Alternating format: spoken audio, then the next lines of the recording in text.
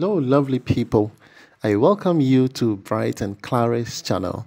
This is episode 22 of the continuation of the electrical wiring that we began in episode 21. In this episode, we are going to continue the discussion on earth rod and lightning arrestor. Why earth rod and lightning arrestor? I'll be sharing that video with you in a jiffy. In the meantime, just giving you a, three, a 3D view of my house. So it's a ground floor, four bedroom, and then the top floor is an apartment. I did this because I needed to utilize the land properly and also for generational income, where generation will benefit from the same property. And therefore, I decided to use the ground floor, which is a four bedroom, okay and then on the top floor i did a two bedroom apartment on the left and that on the right. So just pause it just view it and then you will understand. So in your shot is how far we have come.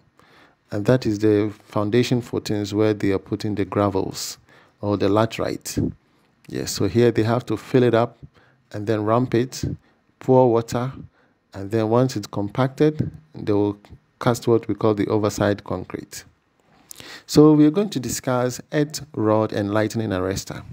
And therefore, earth rods, what are they used for? And then lightning arrestor, what is its main purpose? We are going to discuss that one. So, lovely people, this is Bright and Clara's channel. Most people have watched my video and they haven't subscribed. I wonder why. It's, it's not difficult to subscribe though. So, if you wouldn't mind, please help me. You'll see my picture on the extreme right corner. Just click on the picture and then subscribe, hit the notification bell, and then once I drop a video, you'll be the first to know. It's very, very important. So, lovely people, I believe you will do that for me now. Yes, subscribe, hit the notification bell, and uh, let's go into another phase of the video. Here is the erection of the block work. This is how we began. Yes, so this is up to lintel. All right, so in your shot right now, you're seeing a gentleman at my building. This is the backyard. Yes, if you watch episode 21, you will understand. In episode 21, we ended here and we are continuing from here. So here, we have to dig the ground, put four earth rods into the ground. So he's hitting the hammer on the earth rod. Yes, he has to make sure this um, earth rod go into the ground. This is a four feet earth rod. We have two feet, four feet. Are you with me? All right. So we put four earth rods together.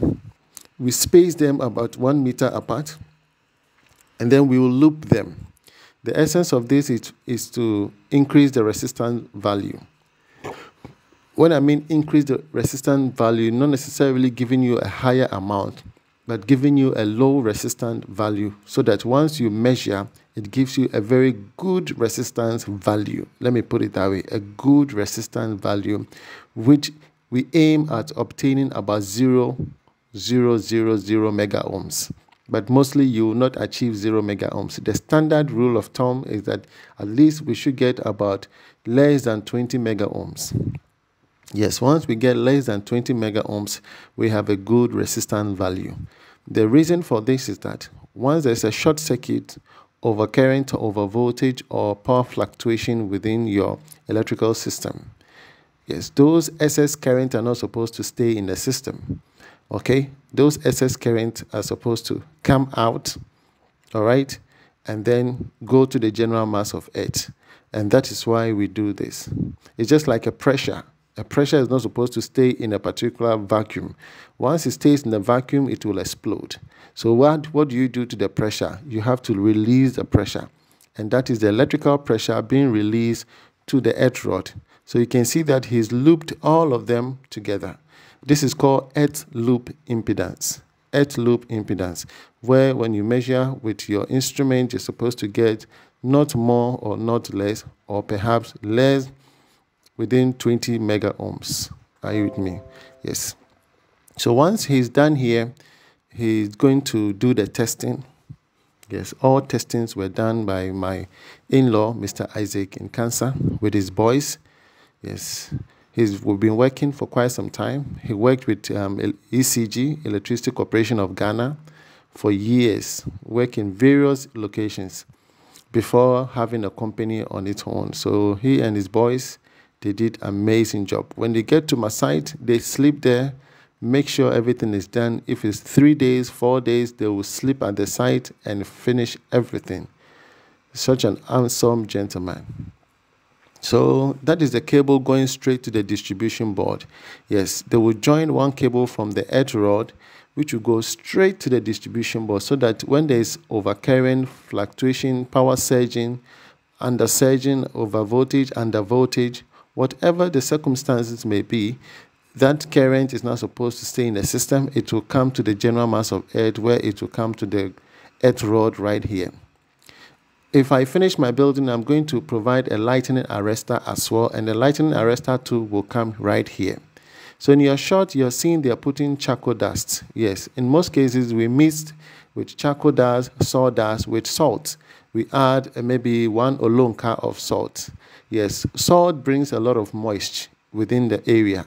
You know, to get good resistance value, you need moisture around. So here we will pour water and then leave it for about one day and then come back and cover it up. Those are junction box along my building. All my building along the four corners, I have junction box along all those areas so I could have power at any time when I'm outside. This is the distribution board where all the electrical wires have been terminated to the miniature circuit breaker MCB. And then at the bottom, you have your isolator switch. This is not an MC, uh, MCC, okay, MCCB. The bottom one is an isolator switch. It does not operate mechanically on its own when there is over voltage or over current. Are you with me? Yes. So this distribution board is called Havells. It's I bought it at 1,000 Ghana cedis. The other ones like MEM, okay, which is costing like 2,000 Ghana cedis, but it, they're all doing the same job. This is a 12-way distribution board, and now you can see everything has been covered. Now my in-law, Mr. Isaac Nkansah, is going to provide a load schedule. A load schedule such that he will indicate exactly where all the cables are coming from. This is coming from kitchen, this is coming from bedroom one, master bedroom, bedroom two, bedroom three, guest room, this is coming from the hall, this is for a socket. He will indicate all of that. Are with me? And then the masons will come and do the dressing along the edges, and then it will look completely beautiful. You see that the DB will be flashing to the plastering at the end of the day. It will not be protruding.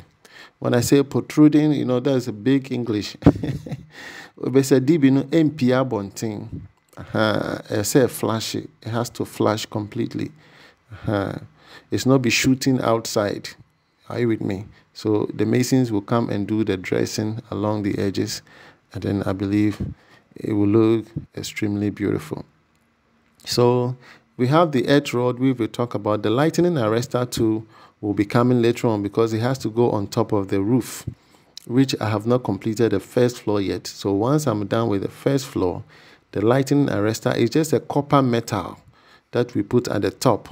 Okay, and then when there's lightning, it will arrest the lightning and then take it because the lightning has current, which are positive and can cause harm. It can it can blast your utility. So once you put the lighting arrestor, it should be in the middle or the center of your building. Yes, in the center of the building, and then it will arrest any power surges that comes or lightning that comes. Thank you, lovely viewers. Now, every connection done, arrangement done for even the solar panel in the future, yes, or even a power plant, everything done. All the meters connected, and then testing will be going on. Once it is done, I'll share the testing process with you. Thank you, lovely people. Now I'll be sharing with you in a nice episode very soon. Subscribe to the channel, hit the notification bell, and I'll see you in episode 23. Bye bye.